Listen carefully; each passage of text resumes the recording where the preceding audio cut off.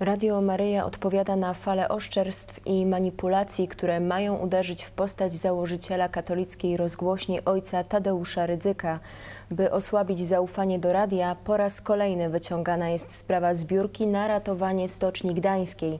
Nigdy nie doszło tutaj do złamania prawa, co pokazują działania prokuratury.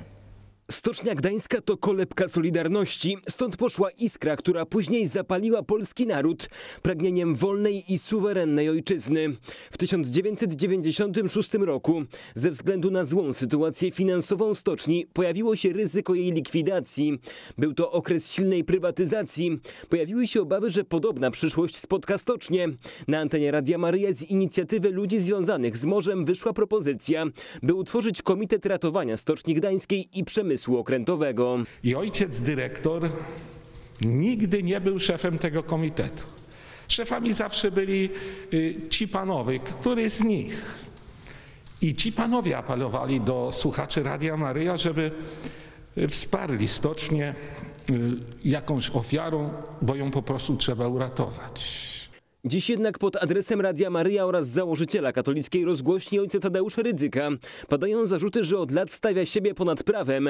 Sprawa stoczni jest wykorzystywana do tego, by uderzać w dobre imię nie tylko dyrektora Radia Maryja, ale i całej wspólnoty, która od lat chce wspierać misję ewangelizacyjną Kościoła. To są po prostu kłamstwa i manipulacje, które powodują, głównie mają na celu spowodowanie obniżenia autorytetu kapłana i tego, który służy w dziele ewangelizacji, y, w dziele mm, także ewangelizacji za pośrednictwem mediów.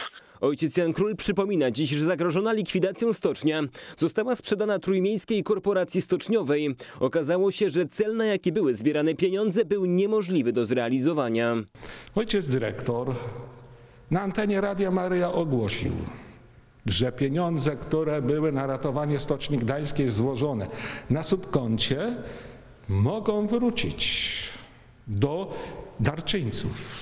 I oczywiście wielu z tych ludzi, yy, prawda, wystąpiło o zwrot i te pieniądze im zostały zwrócone. Wielu darczyńców podjęło jednak decyzję, by środki, jakie przekazali na ratowanie Stoczni Gdańskiej, zostały przekazane na utrzymanie i rozwój Radia Maryja. Katolicka rozgłośnia z Torunia musiała mierzyć się z zarzutami o złamanie prawa. W tym czasie rządy sprawowały kolejno AWS, SLD, później Platforma z PSL-em. Za każdym razem prokuratura kończyła sprawę, umarzając ją, nie znajdując podstaw do jakiegokolwiek wnoszenia sprawy do sądu. Prokuratura przesłuchiwała nawet ojca Jana Króla, który w obliczu zarzutów, jakie stawiano Radiu Maryja, przedstawił komplet dokumentów potwierdzających, że tym, którzy tego chcieli, pieniądze zostały zwrócone.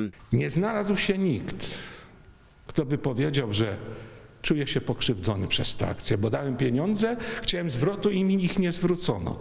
Zarzuty, jakie przez lata kierowano pod adresem Radia Maria i jego założyciela, nasiliły się w ostatnich tygodniach. W odpowiedzi katolicka rozgłośnia wydała oświadczenie, w którym zwraca uwagę, że działania podejmowane przez ojca Tadeusza Rydzyka są zgodne z prawem, a medialne materiały, jakie uderzają w osobę założyciela Radia Maryja, mają prowadzić do upadłości dzieła, które walczy o zachowanie katolickiej tożsamości Polski i Polaków.